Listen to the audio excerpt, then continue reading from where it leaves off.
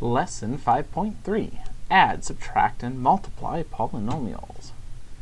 There are always good things to know how to do, because sometimes you want to combine two or more models into one big model. So, how to add and subtract polynomials. You add or subtract the coefficients of the terms with the same power. This is called combining like terms. So you combine the x squares, you combine just the x's,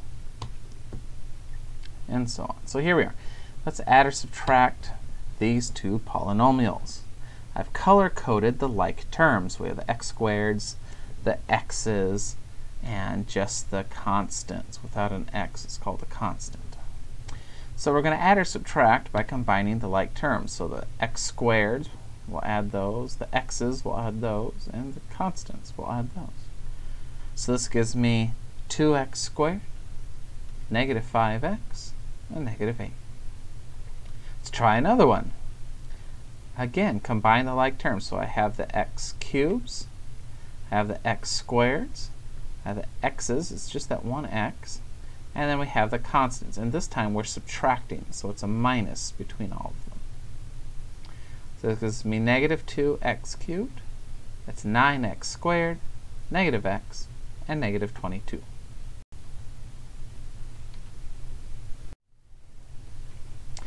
To multiply polynomials, you use the distributive property. So to multiply these, I'm going to take each of the x and the negative 3 and multiply it by the x plus 4. So you can see I have x times x plus 4 and the negative 3 times x plus 4. Going to distribute each of those. So I have the x times the x and the x times 4. I have the negative 3 times the x and the negative 3 times the 4. Combine like terms, the 4x and the negative 3x combine to make 1x. Here's another one. Again, I'm going to take the x times everything and then the 2 times everything. So the x times everything and the 2 times everything.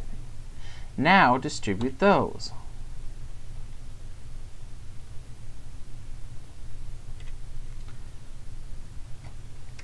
So I have the x times x squared, the x times x, um, the x times negative 4. Here's the 2 times x squared, the 2 times 3x, and the 2 times negative 4.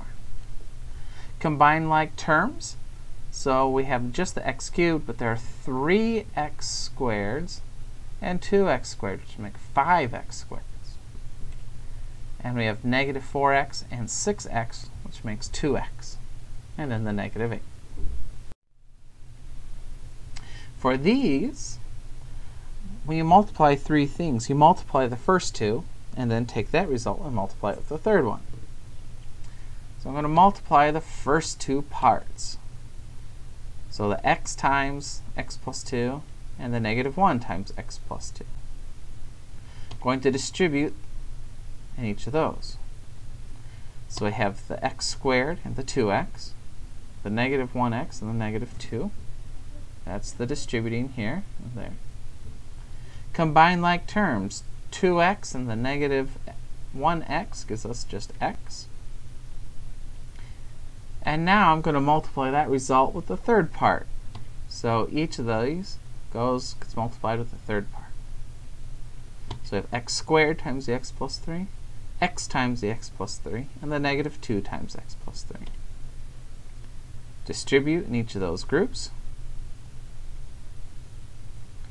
So we've got the x squared times x, the x squared times 3, the x times x, and the x times 3, and then the negative 2 times x, and the negative 2 times 3. Combine like terms. The 3x squared and x squared makes 4x squared. The 3x minus 2x, we'll use x. There are some special product patterns we have the sum and difference, a minus b times a plus b, is a squared minus b squared. Square of a binomial, a plus or minus b squared equals a squared plus or minus 2ab plus b squared. If you use the plus in the first part, you'd use the plus in the second part. If you use minus in the first part, you'd use minus in the second. For our cube, the same idea. a plus b cubed is a cubed plus 3a squared b plus 3ab squared plus b cubed. And if instead it was a minus, on the right side where there's the plus and minus, you would use the minus. These are special patterns. You don't have to memorize them. They're shortcuts, but they could make your life easier if you do remember. So this one looks like it's a cube of a binomial. So that formula, we're adding, so we're going to use the pluses. a plus b cubed equals a cubed plus 3a squared b plus 3ab squared plus b cubed.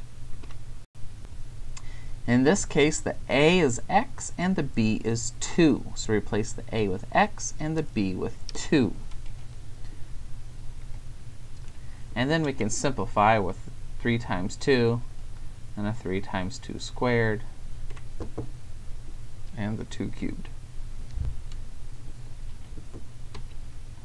Look at this one. This one looks like it's a square of a binomial has the minus, so we're going to use the minuses where I said plus and minus.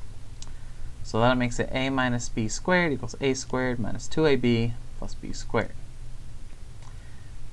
Here the x, the a is x and the b is a 3. So replace the a with x and the b with 3 and simplify.